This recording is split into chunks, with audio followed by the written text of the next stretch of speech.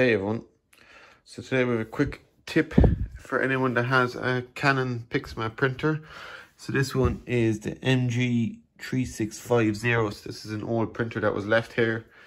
And I was just going to give it to someone else and I went to plug it in and try and print. But as you can tell, the black ink cartridge is flashing. So it was basically empty and I don't have a spare one. So this is just to show you how to get more life out of your printer um, if you only have maybe a color cartridge or a black cartridge. So as I say, the black one is empty. Um, so it keeps throwing up an error saying that it, the black one's empty to replace it. I'm to show you here on a laptop then how to switch this to print for only color. So what we're going to do is just search here for printers and scanners.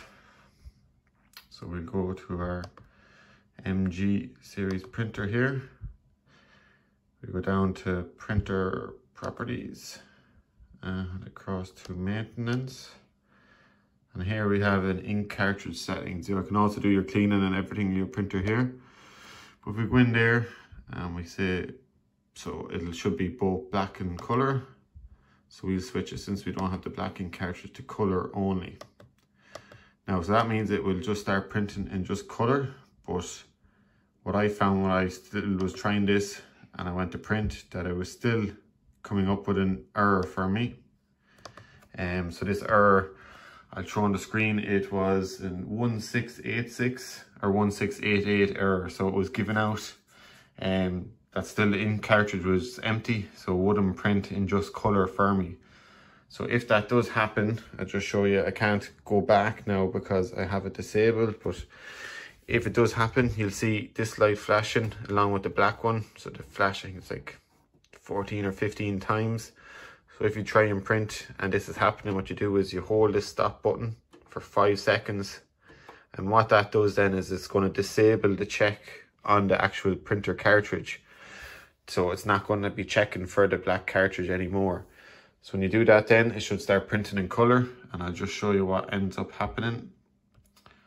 So don't know why the. So here is our, so you see we have color, but we don't have black.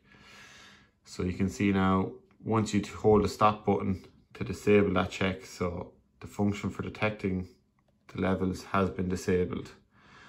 So then you should be able to print away if you just have a color one and the same then if you have only have black um, and you want to print in color. So just show you, we'll just print this now in color.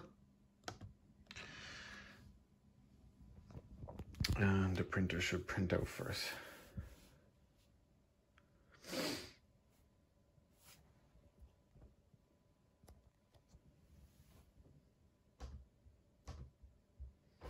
Oh yeah, so just actually to check. So this comes up that you're using just color and you're not using black.